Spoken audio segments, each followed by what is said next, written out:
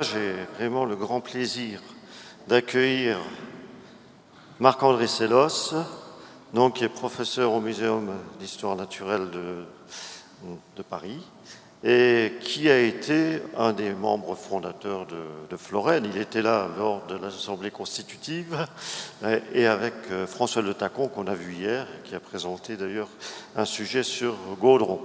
Donc, euh, il va nous faire euh, donc cette, euh, petite communication sur les plantes construites et détruites par les micro-organismes.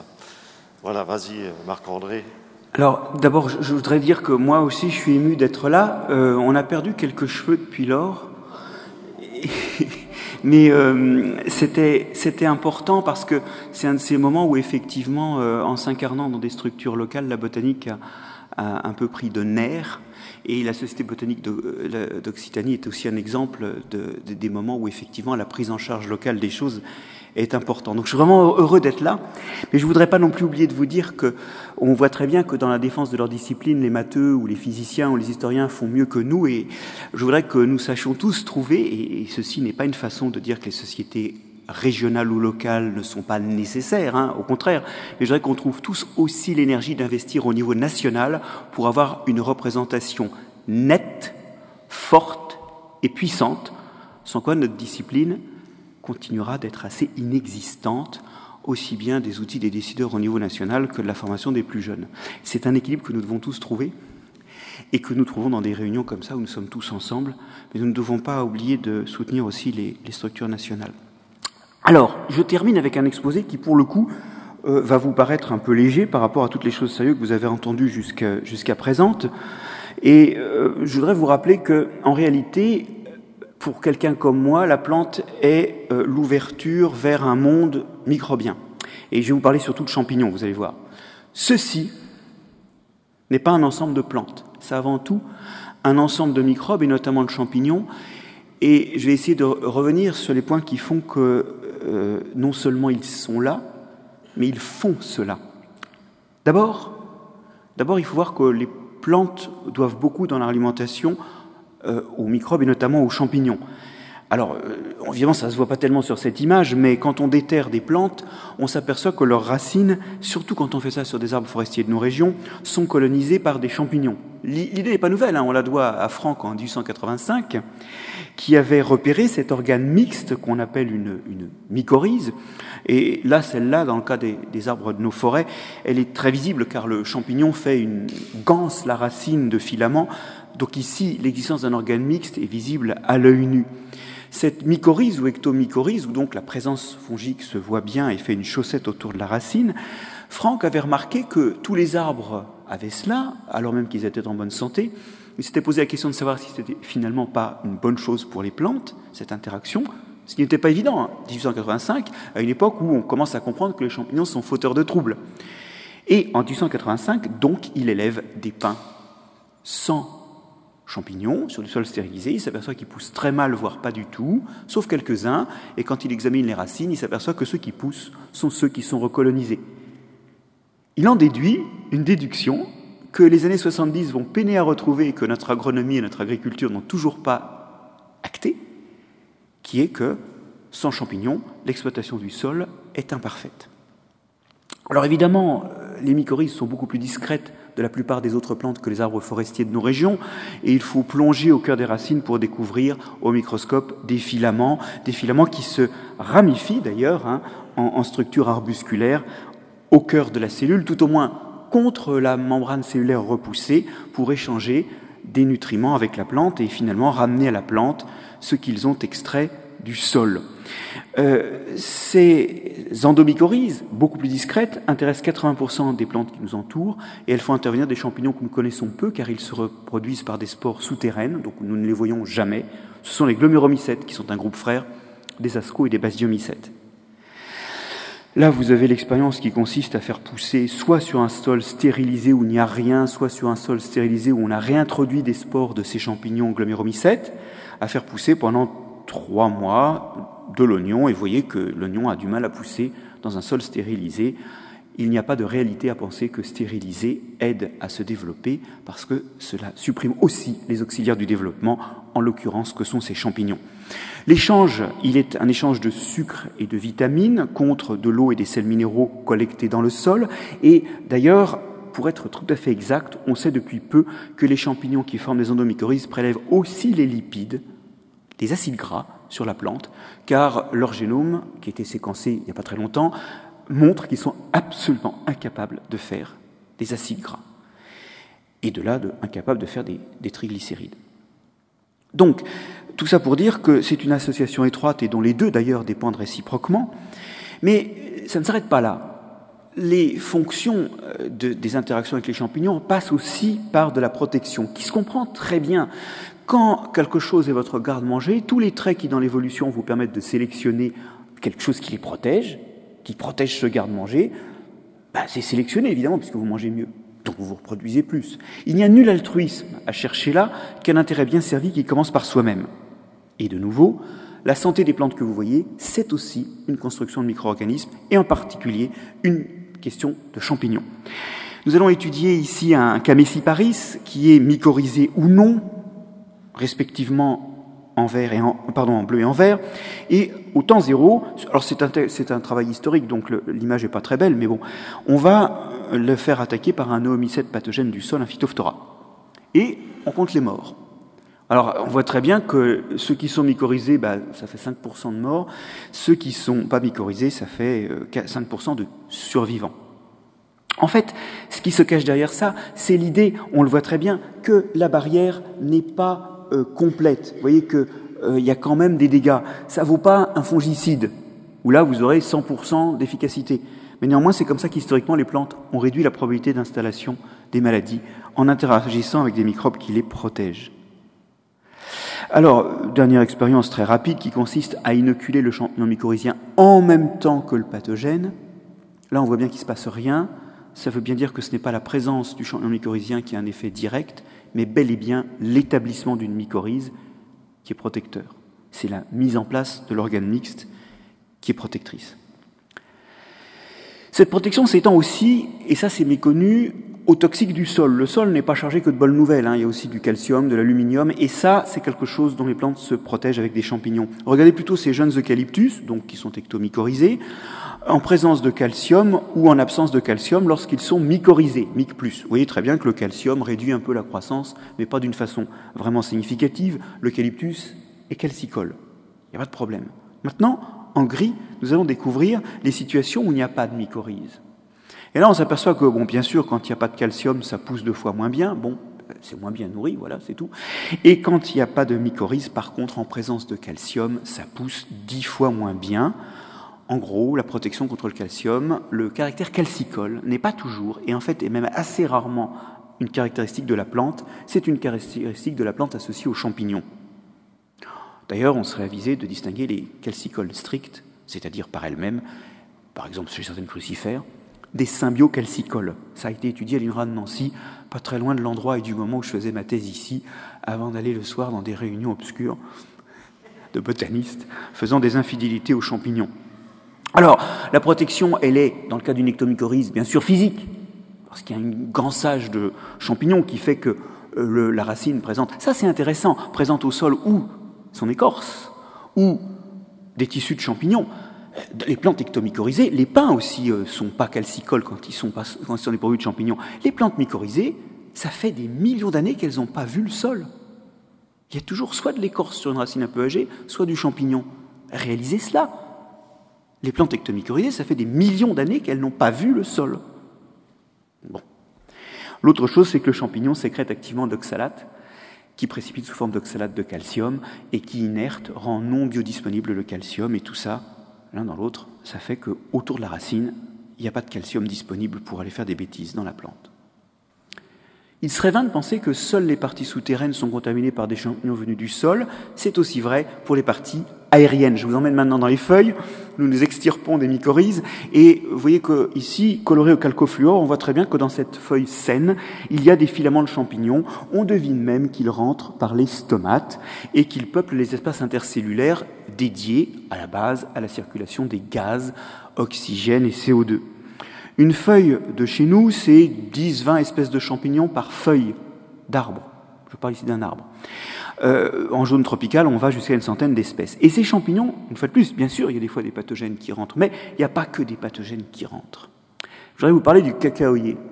Très longtemps, on a ratissé les cacaoyères pour enlever les feuilles mortes, partant du fait que les feuilles mortes étaient parfois mortes de champignons qui risquaient de se brûler sur les cadavres ainsi formés et de réinfecter les jeunes feuilles.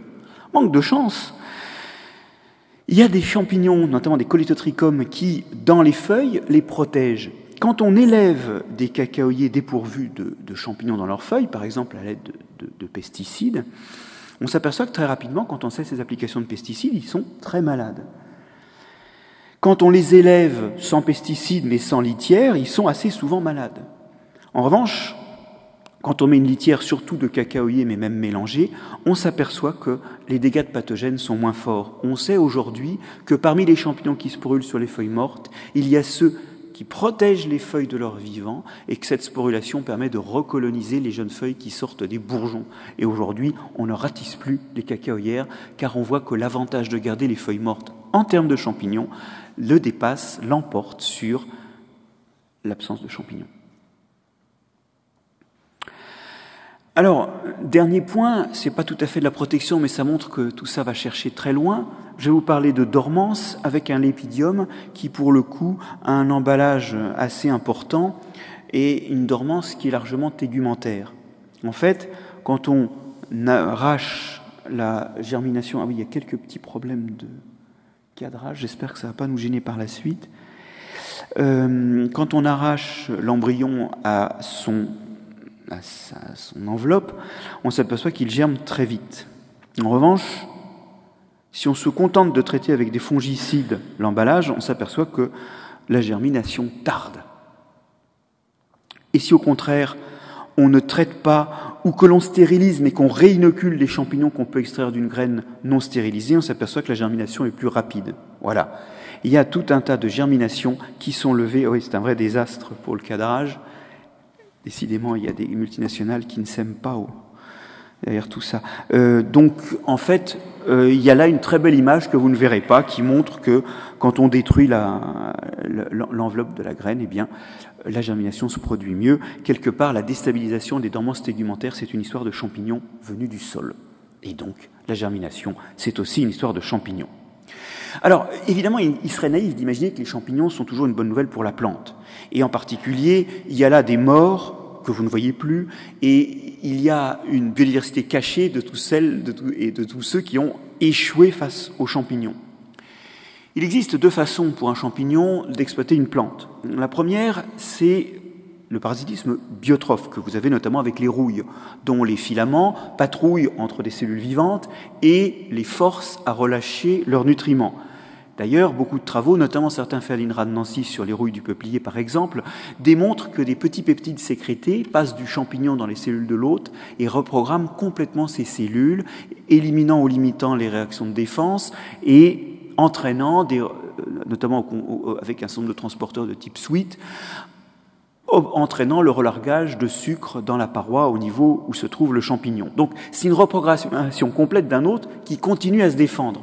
Et autant le garde-manger est indéfini, autant une partie de l'investissement du champignon consiste à envoyer des choses dans les cellules qui vont empêcher l'hôte ou limiter les défenses de l'hôte. C'est un, un, jeu périlleux, ça. Ce jeu périlleux, il se double aussi de reprogrammation qu'on voit. Beaucoup de gales sont dues à des champignons. Et là encore, vous avez une reprogrammation complète, par exemple sur cet exomasidium, de la feuille qui devient une espèce de boule à champignons nutritive. Vous voyez que cette reprogrammation va très loin puisqu'elle peut affecter la morphologie. Et le petit revêtement blanc qu'on trouve à la bonne saison à la surface de ces gales-là, eh bien c'est le champignon qui se brûle. Bon. L'autre stratégie consiste à se débarrasser des défenses de l'hôte en le tuant. C'est quelque chose que font, en rendant les arbres creux, par exemple, pas mal de champignons. Un hêtre, ça meurt, euh, ça meurt d'amadouvier, par exemple. Et vous avez ici un hêtre dont le bois de cœur est devenu moins résistant et qui a fini euh, par partir en volie. Alors, ce qui est intéressant hein, sur, cette, euh, sur cette image, c'est de voir que le champignon finit son repas en quelque sorte sur un arbre mort et pourrait à première vue paraître être un saprophyte, mais il l'a bel et bien tué. Il s'est débarrassé des défenses, il n'a plus à investir dans l'évitement de ses défenses, mais son garde-manger est fini.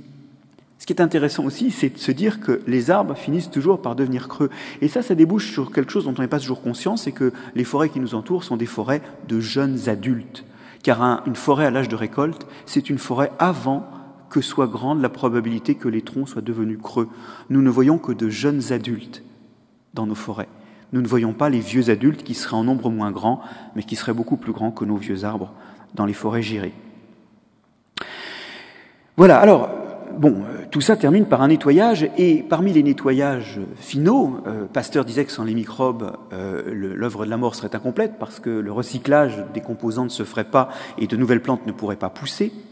Ce nettoyage final, j'aimerais vous l'illustrer avec les feuilles mortes, parce qu'il y a derrière les feuilles mortes une histoire que l'on doit à un autre nancéen, pour le coup, François Toutain, qui a longtemps travaillé au centre de pédobiologie, qui est décédé il y a un an. François avait beaucoup travaillé sur les euh, litières. Et je lui dois à la fois certaines des images qui sont là et ce propos qui est un peu général sur la couleur des feuilles et qui, pour le coup, est largement méconnu. Vous savez que les feuilles changent de couleur en automne, elles rougissent ou elles jaunissent. Et autant le jaunissement peut s'expliquer par la déstabilisation de la chlorophylle, autant le rougissement euh, rouge et vert, ça fait pourpre. Clairement, il y a des néosynthèses. Alors je vous invite à faire quelque chose que j'invite tout le monde à faire. Peut-être m'avez-vous déjà entendu suggérer de goûter une feuille verte puis une feuille colorée. Vous pouvez faire ça sur du chêne ou du châtaignier, il n'y a aucune toxicité. Vous verrez qu'il y a beaucoup plus de tanins beaucoup plus d'âpreté, d'astringence et d'amertume dans les feuilles colorées, et il y a donc une synthèse terminale dans la vie de la feuille au moment de la sénescence de tanins, qui est complètement paradoxal parce que ça coûte très cher. C'est pas un déchet les tanins, c'est très très cher. Et mettre des composés qui valent très cher dans une feuille dont on est en train de récupérer, au contraire, les composants, c'est bizarre. Mais c'est pas la fin de l'histoire de la feuille. Et justement, le bizarre s'explique dans la suite. La feuille, elle finit par devenir brune. Et les feuilles brunes, Qu'est-ce qui est brun dans la feuille? Eh bien, c'est simple. C'est un peu la même chose qui se passe quand vous coupez une pomme et que ça brunit. C'est que ces tanins qui sont stockés dans la vacuole, lorsque la cellule se déstabilise, ils passent dans la cellule et ils forment des complexes avec les quelques protéines qui restent, des complexes qui s'oxydent. Et cette oxydation, elle débouche sur un composé brunâtre. Sauf que là, ça se fait longuement et à une grande échelle par rapport à une pomme coupée ou à un fruit meurtri. Alors, euh, voilà les fameuses images que l'on doit à François Toutain. Vous avez ici ces espèces de gouttelettes où les interactions chimiques entre les tanins et les restes de la cellule a condensé tout ce qui restait de la cellule en ce qu'on appelle des pigments bruns. Vous voyez très bien la structure de la cellule, hein. on voit le parenchyme palissadique au-dessus, le parenchyme lacuneux en dessous, et on a ces espèces de, de boulettes brunâtres que nous allons maintenant voir en microscopie électronique, qui sont le reste de tout ce qu'il y avait dans la cellule. Et euh, ce reste-là, il est complètement insoluble parce que les tanins ont établi des liens à tout ce qui restait dans la cellule, en particulier les protéines, et fait une espèce de, molécule réticulée absolument insoluble. Et ça, c'est fondamental pour nos écosystèmes tempérés car le phosphate et l'azote qui s'y trouvent sont complètement insolubles. Donc, pendant l'hiver où il ne se passe rien, ils vont rester là, ne vont pas partir avec les circulations d'eau dans le sol. Ensuite, quand arrive la bonne saison, ben, on commence à voir des champignons. Oui, ce sont des champignons, car eux seuls possèdent les, mécanismes complexes de déstabilisation par production de radicaux libres qui sont nécessaires parce que ces pigments bruns, c'est pas répétitif chimiquement, c'est des molécules extrêmement complexes. Donc il n'y a pas une enzyme qui peut les découper. C'est découpé avec des radicaux libres et ça, seuls les champignons savent faire ça. Et ils blanchissent la feuille. Ce qui est blanc là, c'est des feuilles dont il ne reste que la cellulose. Petit à petit, il mange tout ça, il rejette l'azote et le phosphate en déstabilisant ces pigments bruns et il relâche à une saison plus douce l'azote et le phosphate, alors que, par ailleurs, les racines, ah non, pardon, les champignons mycorhiziens des racines peuvent prendre en charge l'azote et le phosphate ainsi produit. Vous voyez que ces pigments bruns sont extrêmement importants parce qu'ils retiennent la fertilité dans les sols. On peut comprendre que des plantes pérennes mettent encore plus de tanins parce que pour elles, la fertilité du sol les intéresse l'année suivante, ce qui n'est pas le cas des annuels évidemment. Et donc, vous arrivez à des complexes qui permettent de garder la fertilité d'année en année dans la forêt et dont le fonctionnement ou la déstabilisation repose sur des champignons. Vous voyez que si ça pousse, ça, ben c'est qu'il y a des champignons à tous les étages et finalement même dans l'étage final de déstabilisation. Alors, on pourrait presque écrire des livres là-dessus. Mais ce que je voudrais vous dire, c'est surtout que, et ce n'est pas une boutade, aujourd'hui l'objectif, c'est de voir la plante comme un écosystème microbien et de voir comment elle fonctionne ainsi. Cela revisite beaucoup de pratiques agronomiques, cela revisite la nature des herbiers, qui sont aussi des conservations d'écosystèmes microbiens, et c'est ce sur quoi travaillent mes équipes au muséum, et d'une façon générale, ça donne une perspective passionnante pour le microbiologiste, parce que je dois bien vous avouer que pour moi les plantes sont surtout des substrats microbes, mais aussi des perspectives de, gestion, euh, qui d'ailleurs désagréablement renvoient nos inventaires de plantes à des inventaires d'espèces de porte-drapeaux de communautés microbiennes beaucoup plus complexes. Et c'est ce que je vais vous dire ce matin.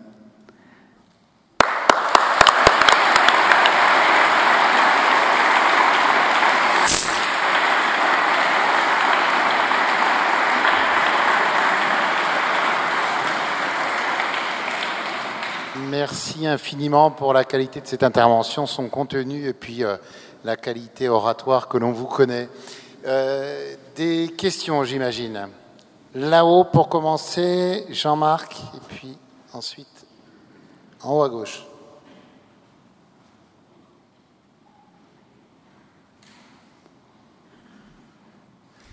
Est-ce qu'il y a une spécificité des microbes euh, en fonction des espèces végétales? Est-ce qu'une espèce donnée a son propre panel d'espèces microbiennes J'ai cru que tu allais me demander si on pouvait mettre dans le prochain Flora Gallica euh, l'ensemble des microbes de chaque plante. Non, pas encore. Non, pas encore. Plus tard, peut-être. non, alors c'est une très bonne question. En fait, euh, que ce soit les, microbes, et notamment les champignons favorables ou, les pathogènes, tu as toujours un pôle de, de, de pathogènes spécifiques, et tu auras notamment des, aussi des symbiotes spécifiques. Et puis tu as un autre pôle de généralistes que tu vas trouver dans plusieurs espèces. Et ils sont pas bien adaptés à chaque espèce qui colonise, comme les omnivores sont pas bien adaptés à tous leurs aliments. Mais d'un autre côté, ils ont toujours quelque chose à manger ou quelque chose où s'installer. Je vais te donner un exemple. Il y a le domaine où on a le plus de spécificité à ma connaissance, c'est le domaine des élagueurs, ces champignons qui mangent les petites branches basses en forêt celles qui reçoivent pas assez de lumière et qui sont mortes faute de lumière ou qui sont moribondes faute de lumière aussi. C'est des champignons qui mangent les branches basses. Et typiquement, quand on a des plantes introduites ou même des plantes déplacées par rapport à leur écosystème d'origine, comme l'épicéa ou pour les plantes introduites le Douglas, ben, elles, elles élaguent pas. C'est-à-dire qu'il reste des branches basses. C'est très gênant pour les forestiers qui doivent les couper, parce que ça ne fait pas des troncs de qualité quand ensuite le tronc grandit et englobe ces branches basses. Ben là, c'est hyper spécifique, tu vois, puisque tu pas de recrutement dans les populations locales. C'est peut-être moins vrai pour les endophytes foliaires, mais clairement, une plante introduite, elle peine à retenir, à recueillir un, équipement aussi complet, et c'est une des raisons pour lesquelles les plantes introduites, même si elles ont un succès à court terme, souvent parce qu'elles se sont débarrassées de leurs pathogènes, à plus long terme, elles ont quand même des fragilités parce qu'il leur manque une partie de ce cortège. Selon certains sons de cloche, il y aurait aussi l'inverse, c'est-à-dire des plantes introduites qui seraient favorisées par un microbisme différent. Euh, ça a été évoqué pour le Centaurea stoebe, euh, par exemple, qui est une plante tout à fait calme en Europe et qui est, gravement invasive aux USA, parce qu'il lui manquerait justement des microbes qui la régulent chez nous. Oui, alors, mais en fait, tu vois, quand tu vas dans une zone euh, nouvelle, soit tu es débordé par les pathogènes. Alors, déjà, éventuellement, tu n'es pas adapté aux conditions physico-chimiques. Bon, mais tu peux être débordé par les pathogènes locaux et on ne parle pas de toi. Soit effectivement, et ça, c'est vraiment le hasard qui règle ça parce qu'il n'y a pas eu d'évolution, hein, pas eu de coévolution là-dessous. Tu te trouves face à des communautés microbiennes où tu as plus d'alliés que d'ennemis. Ça, c'est le cas du robinier qui, en Amérique, en général, quand on le cultive plusieurs, enfin, il pousse plusieurs générations de suite à un endroit, eh ben, les jeunes poussent moins. Parce qu'en fait, ils cultivent plus de maladies que d'alliés. Mais en Europe, en revanche, ça a vraiment été montré pour lui, le robinier, il cultive plus de microbes favorables que de défavorables. Et chez nous, plus, plus, il plus ça fait de temps qu'il est là, plus il a amélioré le sol. Donc les deux, sont possibles, effectivement, tu as tout à fait raison. Et pour ça, je vous recommande, j'avais fait un papier sur ce qu'on appelle l'effet Janssen-Connell, parce que c'est ça qui se cache derrière, dans un numéro Pour la science euh, qui doit se trouver en ligne sur mon site web question en haut à gauche.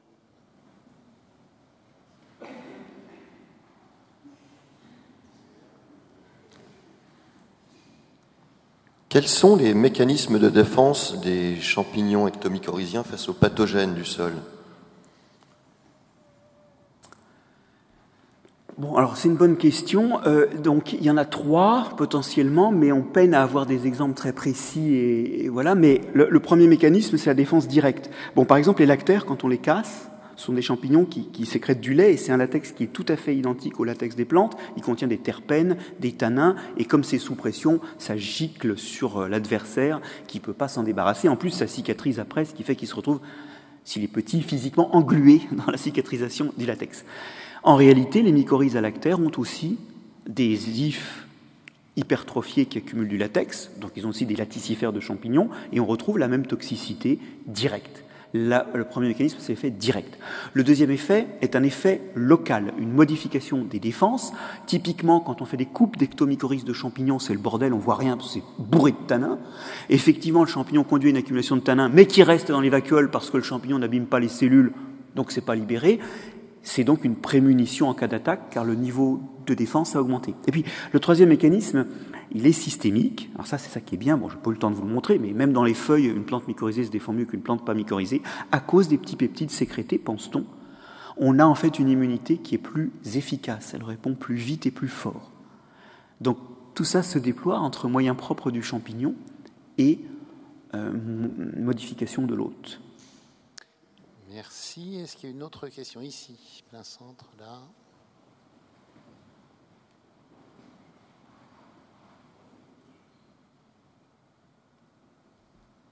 Bonjour. Euh, je me demandais si toutes les plantes étaient euh, ectomycorhizées, notamment les fougères par exemple ou les bryophytes.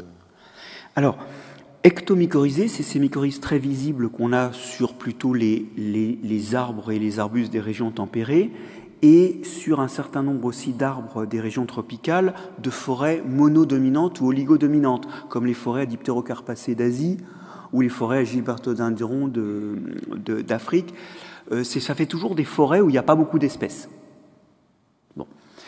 Euh, la plupart des autres forêts, et notamment et toutes les plantes herbacées, ont plutôt des mycorhizes de type endomycorhizes, celles qui sont assez peu visibles. Il faut vraiment regarder dans les racines pour voir ce qui se passe. Et quand on regarde ça de l'extérieur, on dit c'est des racines. Et ça, c'est 8 dixièmes des plantes. Je rajoute un dixième des plantes, comme les orchidées ou les, arbres forestiers, qui ont d'autres types de mycorhizes, et je me retrouve avec un dixième des plantes qui ne sont pas mycorhizées, comme les crucifères, certaines chénopodiacées ou certaines polygonacées. Voilà. On retrouve des mycorhizes, notamment des endomycorhizes, dans toutes les plantes des groupes euh, basaux des embryophytes, sauf les mousses, et quand on regarde l'équipement génétique qui permet de discuter avec les champignons, alors on trouve souvent en fait des, équivalents d'endomycorhizes, et dans les hépatiques, le champignon, il n'y a pas de racine, hein, il est présent dans ce qu'on appelle le tal. Bien. Ce sont donc toujours des gloméromycètes, et euh, l'idée c'est qu'il y a des gènes qui permettent en fait d'interagir avec les gloméromycètes. On sait très bien que ces gènes sont perdus parce qu'en des fois on a des restes abîmés dans les mousses ou dans les crucifères ou, si vous êtes amateur de ça, les protéacées et donc on est sur des pertes secondaires d'une association qui a dû être consubstantielle avec la colonisation du milieu terrestre. Cela dit, dans les plantes non mycorhizées, on commence à trouver de plus en plus qu'elles dépendent d'autres champignons, qu'on appelle globalement des endophytes, bon, voilà, qui sont présents dans la racine, voire dans le sol, et qui améliorent leur, nutrition, notamment des élociales chez les crucifères. Et donc il semblerait bien que même celles qui sont débarrassées des mycorhizes classiques ont toujours des champignons qui traînent dedans, avec des morphologies moins précises, moins identifiées sur la morphologie, et de nouveau on voit que la morphologie n'est pas toujours bonne conseillère, mais bel et bien quand même des alliés microbiens. Aujourd'hui on ne pense plus que les crucifères sont des plantes qui se débrouillent sans champignons, simplement elles ont changé de partenaire. D'autres questions? Eh bien, on va vous applaudir, vous.